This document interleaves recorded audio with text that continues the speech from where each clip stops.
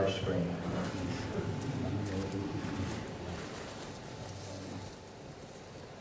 Here we go. I am so happy to be back in Tokyo. This is one of my favorite cities in the whole world. I've had the good fortune to be here. I think this is my fourth time to visit, and um, I always love it here. So, as she said, my name is Mark Collier, and I'm the COO with the OpenStack Foundation. And if you are on Twitter, you're welcome to follow me. My name on Twitter is Sparky Collier. So, with that, I'm going to kick it off. I'm going to just tell you a little bit about what OpenStack is. I'm guessing most of you already know what OpenStack is, but it always um, is good to start with a little baseline knowledge so we're all on the same page.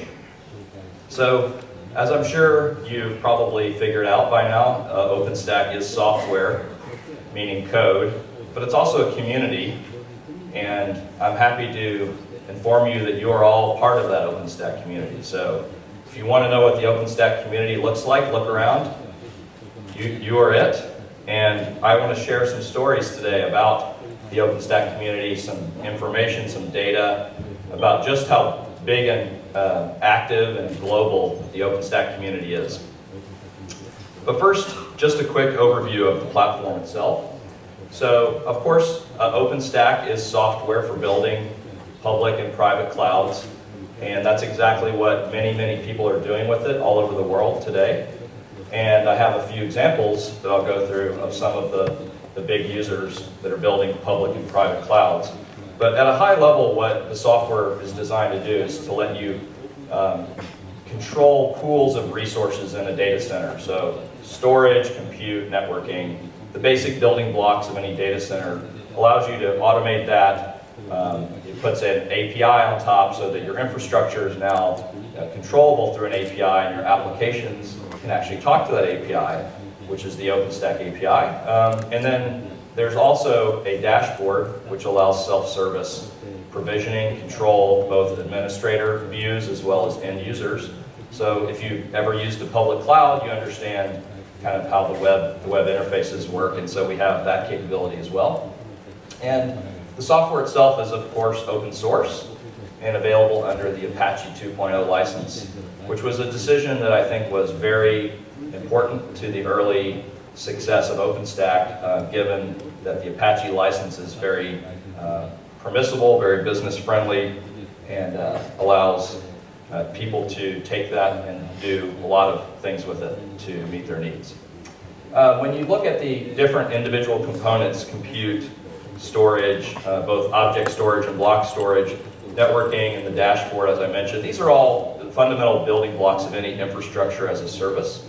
Whether you're a service provider or if you, in many cases in the enterprise, we see companies that are essentially like service providers to their employees, and they're providing a very similar capability. And then we have shared services like the multi-tenant authentication system, as well as the image service for um, moving your virtual machine images um, into production and saving the, the ones that uh, are your template for your application.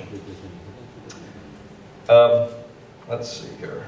This is not coming forward. There we go. Uh, OpenStack is developed through a very unique um, software development process. I think it's very important to understand how it works, whether you want to build a business around OpenStack or you want to run it. Um, whatever your interest is, um, understanding how the software gets made is very important um, because everyone has a role in it, and that's unique versus a traditional um, proprietary software model where users are lucky if they get uh, once a year an opportunity to tell their sales rep uh, what they'd like to see on the roadmap. Um, users are much more in control, much more in the driver's seat, and they're much happier as a result. So we, we have a time-based release cycle. So twice a year we release a new version. We've never missed a deadline. Um, the next version is called Grizzly and it will be out next month. So we're excited to see that rapid pace of innovation. And by having a fixed release schedule, um, it allows other companies um, and users to uh, be able to plan their product plans or their um, implementation plans around a predictable schedule and they know kind of when new releases are coming. Um, a very critical part of how we decide what goes into the software are design summits. Now, have anyone here ever attended an OpenStack Design Summit? See? Any hands? A few? Well, I would very much encourage you to attend if you, if you have the opportunity. Um, the next one is actually next month in Portland. And then in October, uh, we'll be doing it again, and we're looking at, at various international venues uh, for that. So we'll, we'll have more news on that soon. But this is actually the event, the summit, where the developers and the users come together and decide what's going to be in the next release. So about two weeks after uh, Grizzly comes out, we'll be getting together in Portland and talking about what goes in Havana, which is the release after Grizzly. We've had extremely broad contributions to OpenStack from over 800 developers, and those developers work for over 50 companies all over the globe. And this is very important to understand. This is a critical piece of why we believe OpenStack is going to be the platform uh, for the cloud in the long run, is because of this diversity and this size of the developer community. There's very few other open source projects that, that have this kind of um, this kind of diversity of contribution and size of contribution. And in the closed source world, of course, uh, everyone works for one company. So we think that this is really the secret sauce for OpenStack. And all of the, of the leadership in the technical world are elected by the contributors to the project. So the people that work on it um, have, have the ability to, to self-govern, if you will, and that's worked very well for us. And many developers are attracted to this, this model. Um, and it's a lot more fun. So if you're a developer, you should get involved. I think you'll like it. So, a little bit about the global community. Um, we have 172 companies now. This slide uh, goes out of date about once an hour because we have uh, new individual members joining every day. I would encourage all of you to join the foundation. It's free. And uh, you can make this number go up by a thousand if, if, if everybody here everybody here joins. So those, those individual members come from over 100 countries. And, and to give you an idea of the, the amount of um, software development going on, we had over 3,000 patches submitted just in the fourth quarter. So when you think about trying to manage 800 developers across the world, we have a very sophisticated system for code review in which um, the leaders of, of the project are able to um, give feedback and accept patches as, as they come in when they, when they meet the quality standards. So we, uh, when we launched the foundation, I'll tell you a little bit more about the foundation in a moment, but when we launched the foundation, we had parties all over the world. Uh, we have over 40 user groups. Um, another thing if, that you might not know about OpenStack is that uh, we like to party. So if you like to party, you're, you're in the right community now. Um, and so these are just a few of those, a few of those uh, events. So you may know some of these people, but um, all over the world we have a simultaneous celebration. People were very excited that we had a foundation um, started back in September. And I, I, mentioned that the users are very much in control of their own destiny with OpenStack, and we, we value them highly. Um, when you come to our OpenStack summits, you'll, you'll see that uh, we, we ask big users to come in and tell their story, what problems they're solving, share with other users, um, because those are really the people that we're, we're all working for, ultimately. So just to give you a few examples of companies that are using OpenStack and, and how, they're, how they're solving problems with it. Um, Mercado Libre is the eighth largest e-commerce site in the world. They are uh, sometimes referred to as the eBay of Latin America. They're in South America, and they have a very large business. Um, and when you are an e-commerce site, uh, you cannot have downtime. Your infrastructure decisions are very carefully considered. And we are very lucky that they were committed to OpenStack early on. They've been running it for quite some time. They're running it in production. And, uh, and as they say here, we have a user stories on our website, and this is just a little excerpt. If you go to openstack.org, you can read more. But he said, our main goal was to achieve a new level of agility and flexibility and demonstrate we could remove the manual work associated with deploying new resources. We achieved this. So this is a very common theme. I think anyone embracing cloud and looking at OpenStack is, is agility, being able to move more quickly, and it really pays off for companies when they, when they commit to it. PayPal is the PayPal of, of the world. Um, so they, they are certainly large in, in the US, but they also have a pretty strong presence in other countries. And uh, just as, as an example of how much mobile or how much payment processing they do, just in the mobile space, they were processing $26,000 per minute in 2012 in payments. So this is another commerce-related um, technology company that is not going to, to um, pick a platform like OpenStack or any other platform without doing their homework. And um, again, they mentioned they wanted uh, agility without sacrificing um, availability. And that's, that's a very common, common theme. Um, this is another company that's uh, using OpenStack that was just announced about a week ago, in fact. Um, this is a large um, company in Russia that has a lot of um, data centers that they manage, and they're building both public and private clouds. And um, I found this quote to be really exciting personally. He said, we want our customers to have freedom of choice. We do believe that OpenStack is bringing that dimension Russia has a long, long history of being um, dominated by one party. Freedom of choice is important from a historical perspective, a similar trend that you observe everywhere. So I hope that's true. I hope there is a trend everywhere towards freedom. Um, I like freedom. Does anybody here like freedom? Anybody else? Okay, good. In the right place. So I'll talk a little bit more about freedom, but open source is certainly um, compatible with that. Ideal. CloudUp is the first cloud service provider in Italy, and they're using OpenStack. And they uh, said here in their case study that they see OpenStack as the Linux of the cloud. This is something we hear quite a bit. Uh, we are excited to hear it, although, of course, humbled. We know that uh, we have a long way to go before we've made the kind of impact that Linux has made, but um, it's great that people have that faith in the project.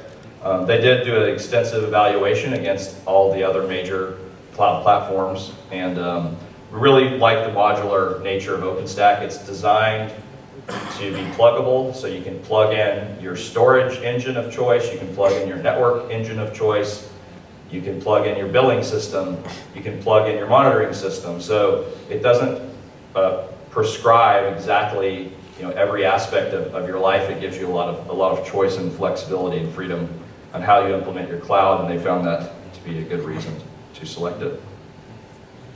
Intel, probably all heard of Intel, um, but did you know they have 69 data centers?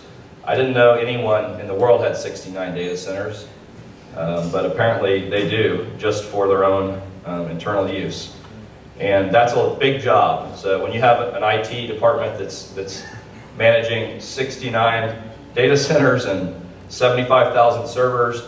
They, they value automation that can save them huge amounts of money as well as reliability. And what they said was that OpenStack dramatically reduced the amount of time it takes to provision services. Um, and they can now deploy VM in just five to 10 minutes, provide faster self-service. So I think self-service is an interesting trend. Uh, we know that, of course, users, in, especially inside of companies, are attracted to public clouds because they don't have to go through a lengthy IT requisition process. But a lot of IT organizations are starting to um, deploy self-service tools so they can empower their users as well. And that's a, something that, that makes everybody happy, both IT and employees. So I thought I would just uh, show you a little bit of data um, as we go through here about the different types of um, users and the interest we see all over the world. Um, this data here actually shows you uh, the top 25, well, it's hard to see the, the map, but it's color coded, but we have um, people from all over the world, over 100 countries, uh, visiting openstack.org, our website. So this is from Google Analytics. And you can see that, um, that Japan is, is number seven. Love to see that um, even higher, but uh, obviously there's, uh, look around, it's no secret there's a lot of interest in OpenStack, so we're very excited about that. And just for your information, I included the top 10 um, cities or regions within Japan um, in terms of where the interest is coming from, measured by the visitors to our website. So the next thing I wanted to do was tell you a little story about what our community is capable of. When you have a community that's this large and diverse, we can do big things. And I think if there's one thing I want to leave you with today, it's that we should dream big, we should think big, and we should um, try to do the impossible as a community because we have done it time and time again. And in this case, a, a group of people, very ambitious people in the OpenStack community from many different countries, decided they were going to try to get together. They came to Austin, Texas, and they wanted to write an entire book in just five days. This is a serious book. This is not, you know, a, a white paper or a small, uh, a small pamphlet. This is a book that uh, that's actually over 230 pages, and they actually came together and they did it. They completed the book in five days. It is the first OpenStack operations guide, and this um, book was written by a bunch of people who have experience operating OpenStack clouds. And I think one of the things we've learned is that um, there's a handful of people that have an incredible knowledge and expertise about how OpenStack works, about how to operate it at scale. And sharing that knowledge is every bit as important as sharing the code. So everyone knows open source is about sharing code, sharing software, but sharing the knowledge is, is absolutely just as important. And that's what these people were, were willing to do. And I actually have a short video I was going to play that talks a little bit about their experience. So let me see if I can, uh, if I can play this.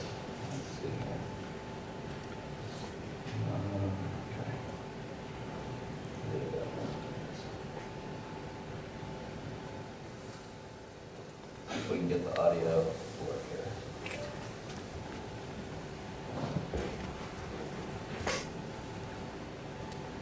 This week we got together a large group to work on a book that the community has been asking for for a very long time, um, the Operator's Guide. So this week I um, brought in a facilitator that I worked with um, before um, to facilitate what we call a book sprint. So we're crazy, but we're writing a book in five days. Basically, OpenStack's really popular, so there's been something that's been happening quite frequently uh, of late, which is managers have been going to their system administrators, pointing at them and saying, hey, in addition to the 30 million other things that you're already doing, now you're running an OpenStack cloud. And we're hoping that with this book, it's going to help them uh, hate their managers just that little bit less. It's going to provide a, a real foundation for people who are getting started with OpenStack to allow them to, to pick a point to get on board and then develop their knowledge from that point on. What we wanted was um, true operator stories, um, true um, use cases that their employers are willing to share, um, and try to get a lot more information from um, the community group. I've been trying to show people, other operators, how they can actually kind of customize certain aspects of OpenStack and how they can make it do uh, what they want it to do without actually necessarily changing the core OpenStack code. We've been saying that we're writing this book in five days, but the truth of the matter is, is that our facilitator is actually kind of whipping us uh, repeatedly to actually get it written in, in four days or, or even less, where we actually get pump all the content into the book, into this book type tool.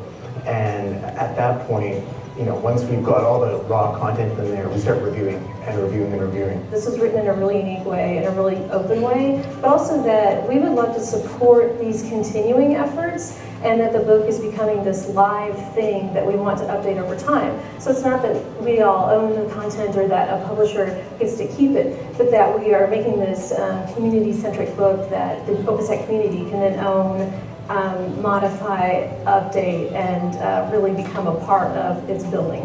You know, we've just dove right into it, and it's been exhausting and stressful at times. But I think we're getting something, getting something kind of special done for the community here. So, uh, if you're planning to build an OpenStack cloud, or you're operating it, or planning to operate a cloud, you should definitely have a look. So it's pretty, pretty impressive what is possible when uh, a group of very passionate people come together and they, they believe in uh, they believe in their project. So I'm very very proud to work in a community that can that can pull that off. So um, this actually this book was only written two weeks ago. So this is very uh, new information, and in less than a week, um, it was actually it was actually published about a week ago. In fact, and two weeks ago they were in Austin writing the book. So this book was put online about a week ago, and in less than a week we had over 2,000 people download the book.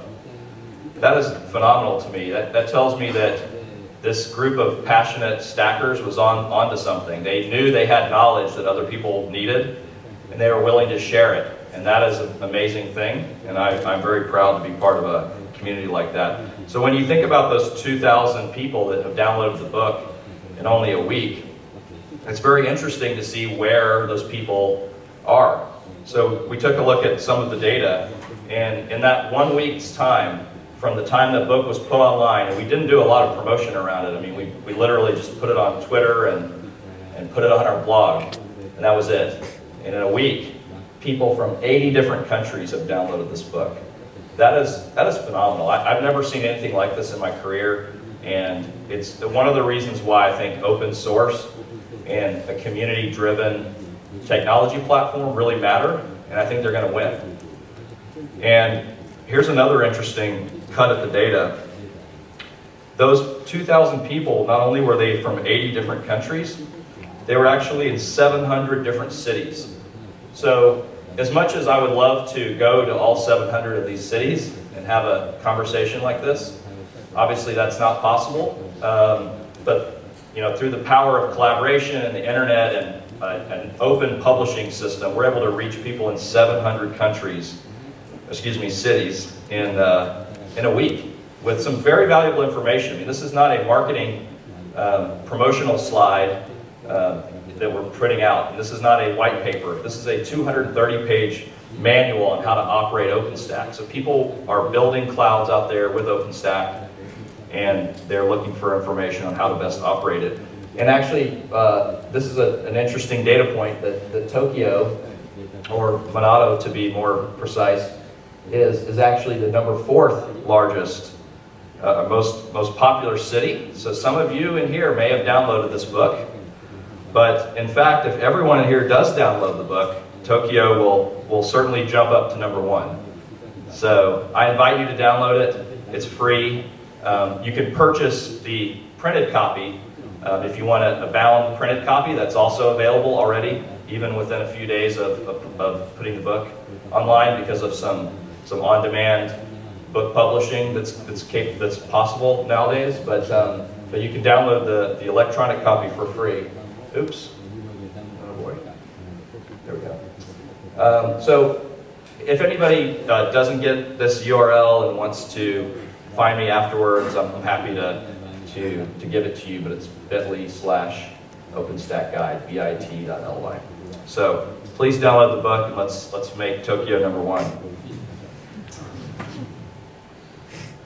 So I want to tell you a little bit about who's behind OpenStack, kind of how we're organized, and um, try not to bore you too much with those details because after that I want to talk about why um, we believe people are interested in OpenStack and why we think it matters. Um, so I think you're all aware that we have a foundation now. I'm the COO at the foundation. I was previously with Rackspace when we started OpenStack and we always believed that the, to make OpenStack successful it needed to be independent, it needed to have very broad industry support, and um, that happened much faster than we expected. So last year we set out to create a foundation and the foundation uh, launched in September. And the, the responsibility and the, the, mission is protecting, empowering, and promoting OpenStack software and the community around it, including users, developers, and the entire ecosystem. And it's important to understand that we talk a lot about community, we use that word a lot, but we, we really define it very broadly. Um, every single person in here is part of this community. Every single person that's interested in OpenStack that wants to learn more or contribute in some way is part of the community, whether they're a user or developer or some in some part of the ecosystem. You know, we have over 8,000 individual members today, uh, up from about 5,000 when we launched in September, so it's already grown quite, quite quickly.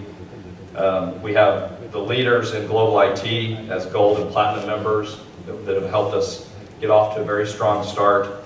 Um, the board of directors, like most organizations, sets the strategic direction at a high level.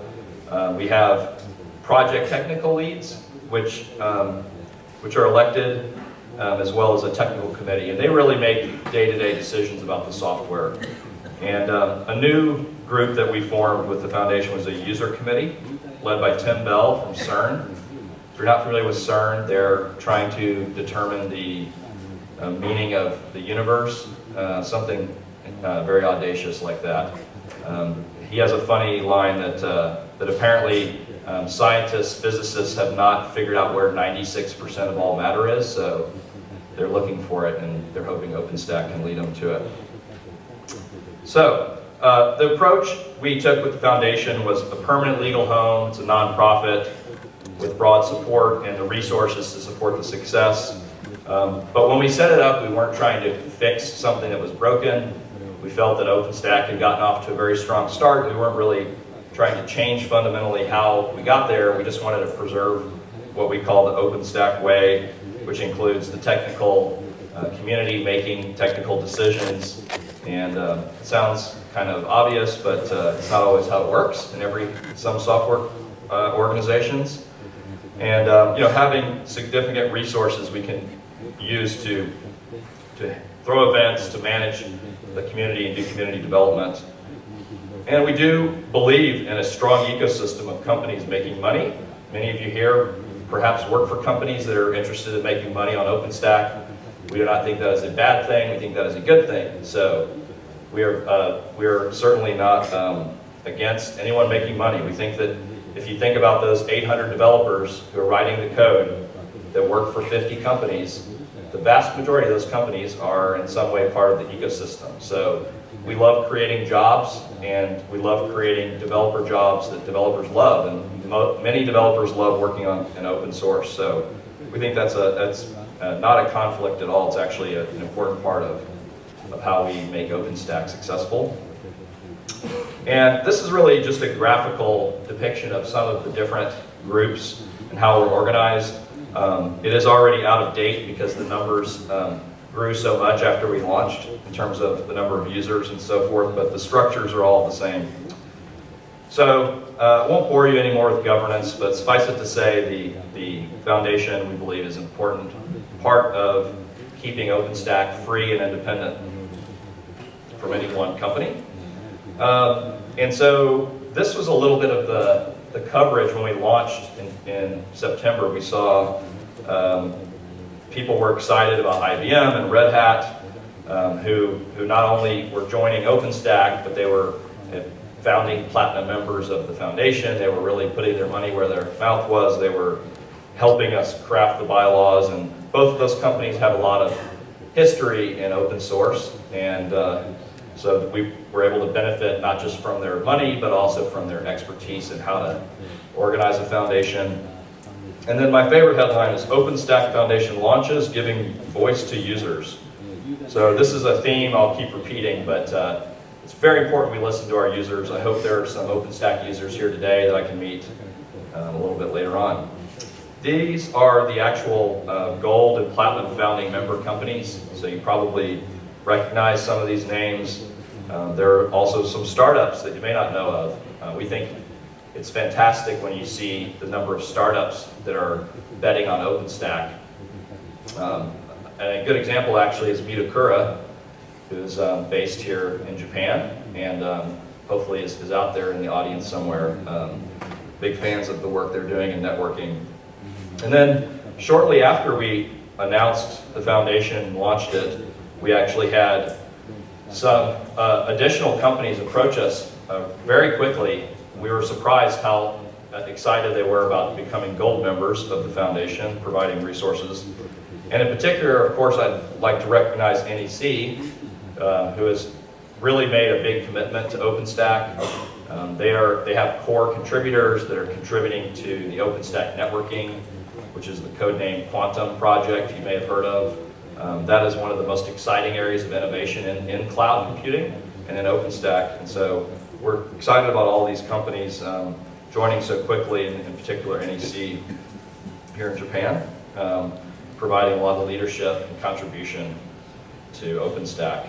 Um, and then in addition to the gold and platinum members, we have a number of sponsors. Um, the difference is the sponsors are not really uh, actively involved in the governance, the board of directors. They're, they're really just you know, the companies that, that want to provide us some, some help because they believe in the mission. And, um, and then we have a number of other supporting organizations um, who, who are in one way or another uh, betting on OpenStack.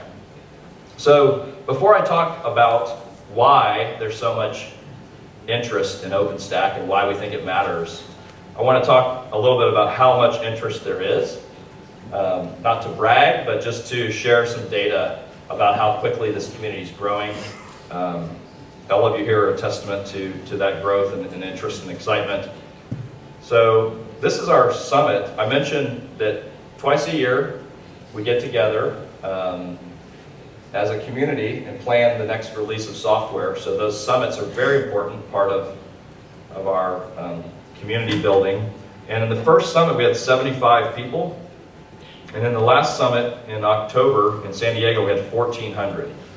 So it's phenomenal growth. We've actually believed that we may have as many as 2,000 people at the next summit next month in Portland, Oregon.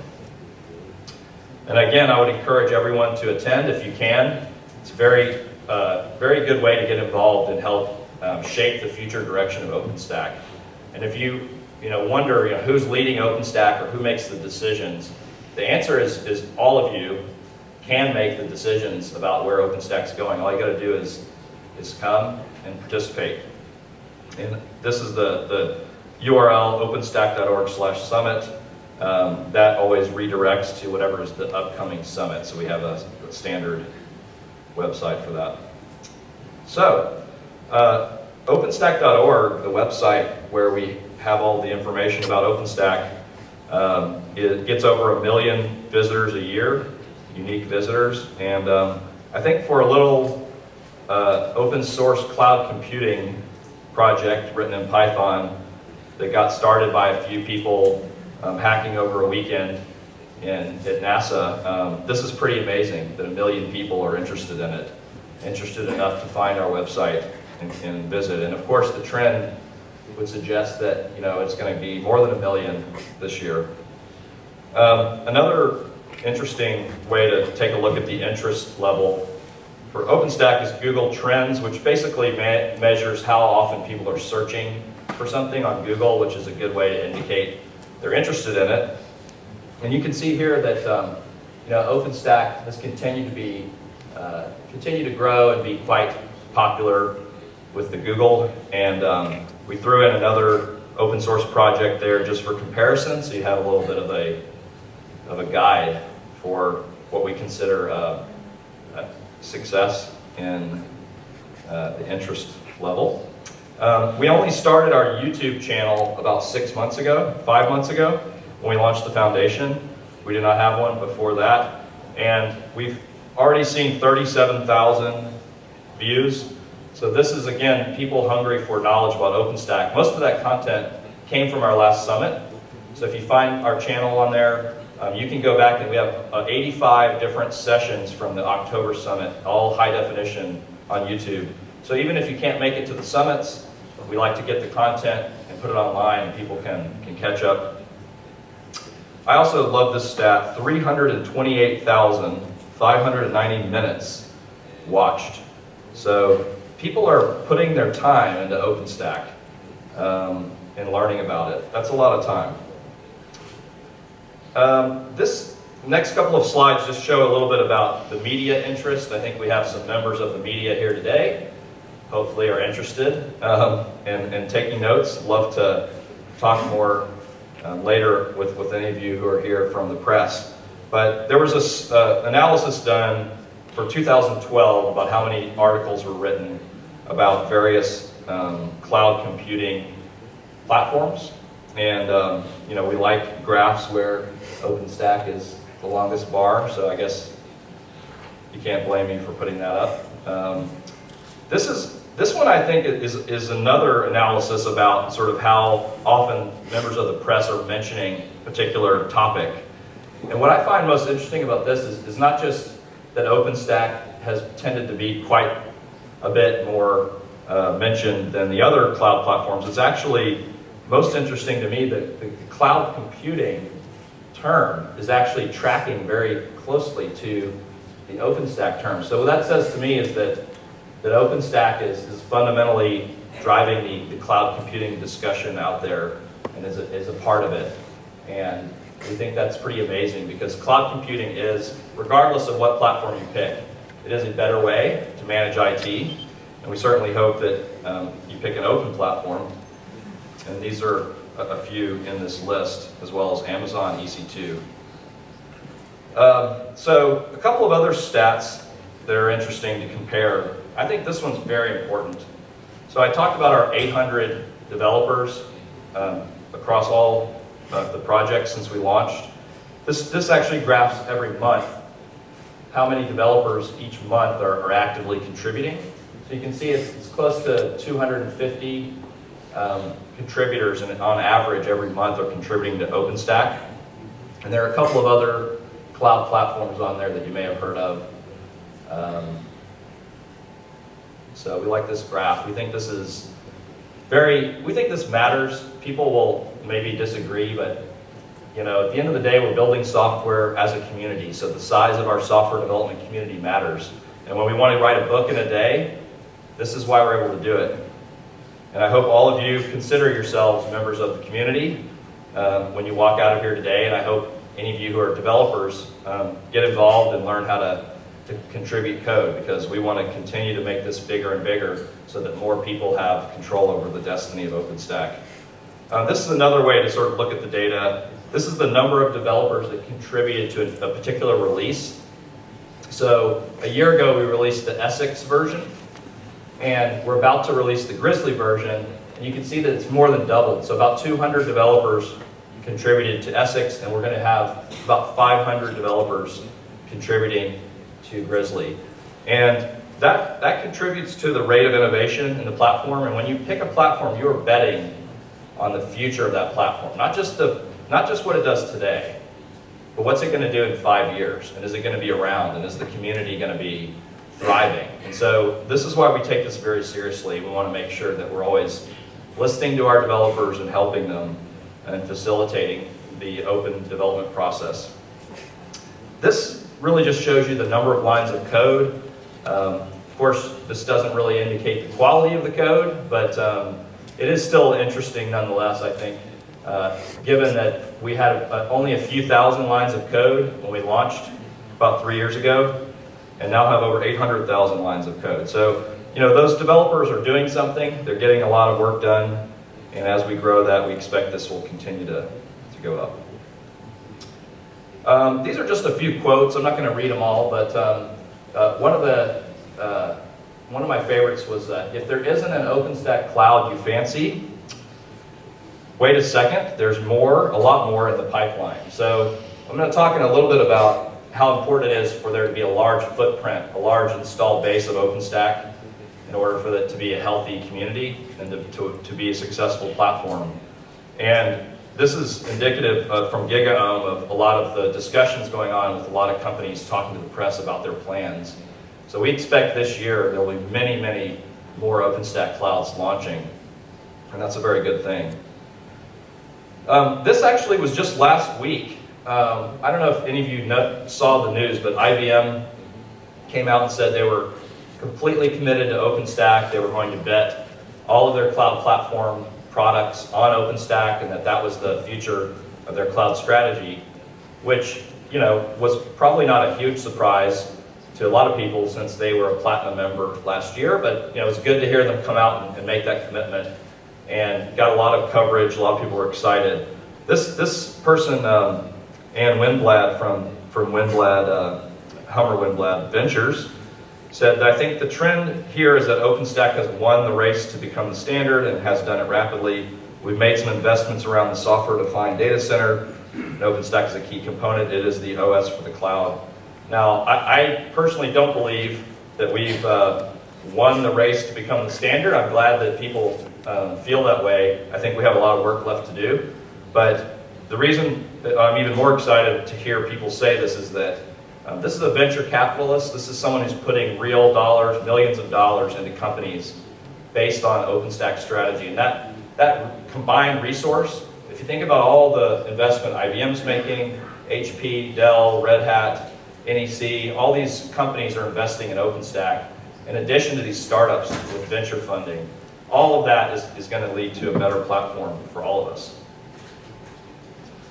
So with that, I wanted to dive into a little bit about uh, why we believe so many people are interested in OpenStack. And I think it's because what we're trying to do is much bigger than just building software, and it's not just a community, it's not just a vendor consortium. I'm sure many of you are familiar with vendor consortiums. They're quite common in technology, but there's a limit to how much you can achieve if that's all, that's the scope of your, of your vision. And we're also not trying to create a few small, moderately successful businesses. We're trying to do something much bigger in, when you look at, at the, the entirety of the opportunity. And what we're trying to do collectively, all of us in the community, is we're trying to create a platform ecosystem in the cloud. And these words get thrown around a lot. You probably hear the word ecosystem a lot, um, platform, but I want to talk about some examples of what we mean by that and, and how it applies to OpenStack and what we need to do collectively if we want to, to have a winning platform on our hands. Um, it's different than, than a lot of other cloud software. Um, that's most of the other cloud platforms are um, written by one company or they're, they're predominantly led by one company. And you know, we have hundreds of, over 100 companies involved many of whom are contributing every day to the software, and many other companies that build businesses on top of that platform. And uh, ultimately, we think you know, building a platform ecosystem in the cloud is what creates the most value for everyone, including users, as well as vendors. So platform ecosystems, how do they work? Let's, let's talk about it. Um, we really see three forces at work in platform ecosystems typically. The successful ones um, have, have all of these three elements. And, they have, and they're very, very strong individually and collectively. One is, of course, the technology platform itself. Um, you need to have the software people want to run with the right features. So you need to have um, software that's, that's um, solving a problem. Uh, you need to have an innovative ecosystem so think about the applications and the service companies and the hardware companies that are all part of your ecosystem. They need to be innovating on top of your platform and below it and beside it and around it. And that's really a critical part of, of how you make a platform ecosystem win. And then last but not least, you need a global user footprint. And if you think about the way these things interrelate, if you're someone building an application for a platform, you want to go where the users are, right? And if you're a potential customer potential user, you want to go where the applications are. And both of those groups want to find good technology that meets their needs to build on top of or to, to operate. And in terms of the platform um, technology, typically the examples here, general purpose technology, so they're uh, widely applicable, um, easy to extend, there's continuous rate of innovation as users uh, in the ecosystem say, I need this feature, I need this API call, they get that feedback and it evolves. And those are things that we're looking to do in OpenStack. We also think that these types of markets and platforms emerge when there's a massive addressable market. So we need to be thinking very big when it comes to these types of ecosystem platforms. And um, you know, it tends to happen as well when users want more than what's in the base platform. So the platform itself is interesting, but they also want to be able to have things on top. And um, in terms of the ecosystem, you need to have a very rich ecosystem that can provide additional functionality, whether it's technology or services that make the platform more usable or valuable. And it's a huge opportunity when you do it right for competitive businesses to come in and make money as part of this. So just to give you a few examples you've probably heard of, a company called Apple. Um, the iOS platform, which is of course on the iPhone and, uh, and the, uh, the iPad and so forth, um, has uh, 700,000 apps on 400 million devices in 100 countries. The Android platform has a, a similar number of apps. Uh, they actually have almost 100 carriers and 44 device makers. So unlike Apple, who makes all their phones, Android has the, the uh, advantage of being able to work with 45 uh, plus companies and have a very, very large install base. Um, Facebook has a lot of uh, developer, has a developer platform with a lot of apps, and they're on a billion users now. Microsoft, people like to uh, kick Microsoft these days, but um, they've pretty much invented this platform ecosystem game. I mean, the Windows platform has 4 million apps. Even in 2011, they had 330 million PCs shipped with Windows, so um, they're not dead yet. And of course, OpenStack is software. There are tools and services that you would plug into it, management tools you might run on top of it, like a RightScale and Stratus. And uh, we have private and public clouds that make up the footprint. So why is this important? Well, we think that the greatest value is in the intersection of these things. So I mentioned before that the users want applications, the application developers want to go where the users are, and everybody wants a technology platform. And um, if you ignore any one of these forces, then the whole model collapses. You, you cannot win if you don't nail all three of these. Um, and so uh, when you look at the data around uh, the big markets, and we said that they only, it only really happens when there's a massive market, think about um, how ambitious these companies were when they created their platform. Apple and Android wanted to be on every smartphone on Earth, and eventually every phone, because they'll all be smartphones. Uh, Facebook wants to talk to every human on the internet. Microsoft wants to be on every PC. And in the case of OpenStack, um, the opportunity is nothing short of changing IT. I think OpenStack as a cloud platform has the potential to be in every data center, on every, uh, uh, talking or managing every server, every network device, and every storage system. That is huge. I mean, that's a multi-trillion dollar um, IT market when you think about every server and every data center. And although cloud computing is, certainly has a lot of traction now, and it's no longer just hype, there's still a massive amount of, of runway left um, to really orchestrate the whole data center. And there's one other thing that's very important that we shouldn't uh, lose sight of, which is people rely on OpenStack even for such important things as every silly cat photo on the internet. So if you like cats, you like OpenStack. Yeah, okay. Try to get a couple jokes in, but um, it's a tough room. Okay, so let's see how these companies have done. Well, Apple and Android have 90% market share. Facebook has 40 plus percent of every human on the internet. Microsoft still has over 90% share. And uh, although platform ecosystems develop around massive markets, they have few winners. This is very important to note.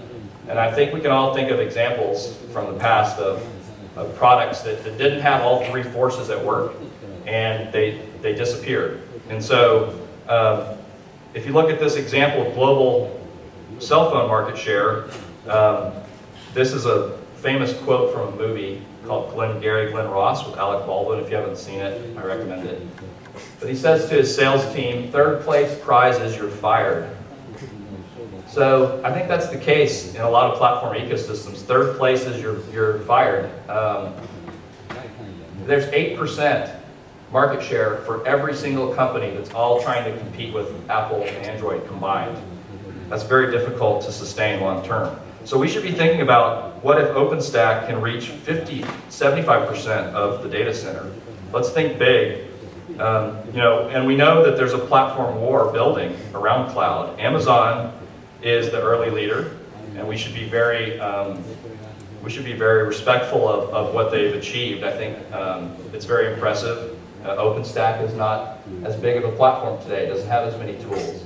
So we need to be thinking about how big we can get.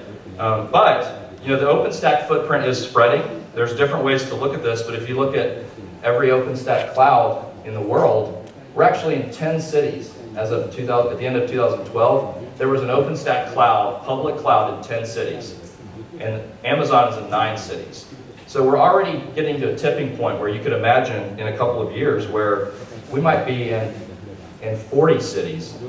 I mean, we had 700 cities pe- where people downloaded the operator's book. So we may be in 700 cities right now with private clouds, but um, with public clouds, you know, the opportunity is there. And because OpenStack can also um, drive private clouds, you can add that into the footprint as well. And that's very attractive for the ecosystem. Everybody wants to be part of the biggest platform because that's where the most opportunity is. And it's also the best thing for the users. I mean, when you pick a platform, you better pick one that you feel is going to be there in the long run. We really believe OpenStack is on its way to being there in the long run. And so, in summary, you know, why we believe OpenStack is the rising stack. The open platform, the community-driven development, that is very important. That graph of the number of developers is very important. I think people should, should um, you know, really look into that and understand when they're picking a platform um, who's really standing behind it. We believe in empowering our users and developers to drive the project forward. And we definitely believe in having broad support from across the industry and not having any single company um, really controlling the destiny of this project. And that's why we created a foundation. And last but not least, I'd like to extend an invitation to everyone in here and everyone who's listening. Um, first, I would invite you all to say no to vendor lock-in. I know that um, it's not always easy when you're picking a platform, but I would, I would invite you to say no, and that's because it's a lot more fun to work on an open project. It's a lot more fun if you're at a company that's making money by helping users instead of locking them in. I've worked at a lot of companies, not all of them feel this way, and I think it's a lot more fun. And I would say, say yes to freedom. Everybody here, I think, said they liked freedom earlier, so hopefully uh, I'm in the right crowd. Um, and lastly, I would say that um, if you do work for a company that doesn't believe in helping customers and doing the right thing, if you, if you work for a company that actually is whole strategies around locking in customers and, and effectively taxing them, I would say that you absolutely have it in your control to make a difference, either by leading your company into a more open path, or there are a thousand jobs in the OpenStack community today. We, in our last summit, we asked everyone in the audience, how many of you here are hiring? And almost every single hand went up. So if you believe in freedom and you believe in OpenStack, then please work on it full time. There are many opportunities to do that. And so I would just invite you to join the revolution and OpenStack. Thank you very much.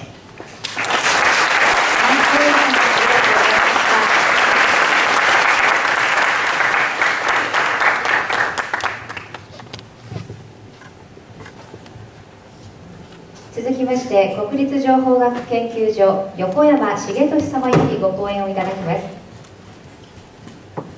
演題はエデュケーションリサーチ on Open Cloud ですそれではどうぞよろしくお願いいたします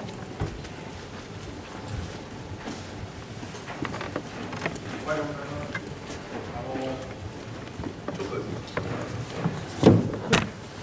えーとちょっと大胆なこと考えてまして、時間があれば、えーとライブのデモをやろうと思って用意してたんですけど、ネットワークが1回切れちゃったので、もう一回ちょっと休憩してもらっていいですか？